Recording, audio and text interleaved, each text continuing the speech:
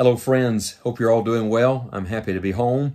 Uh, tonight, I had the privilege of uh, teaching again in our home church one of the lessons uh, that we wrote several years ago to try to encourage people just to be faithful witnesses. Uh, it comes from this, this little set we call the Go Kit.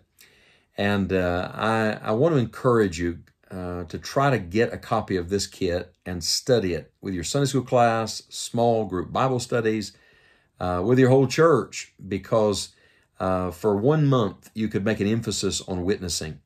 Uh, Pastor Sexton always used to say to us, You reap a harvest where you place an emphasis. And that is so true. And so, five weeks of studying the gospel and our responsibility to go with the gospel, to get it to other people, uh, could make such a huge difference.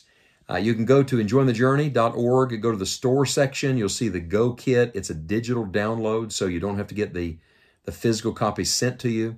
You can download it.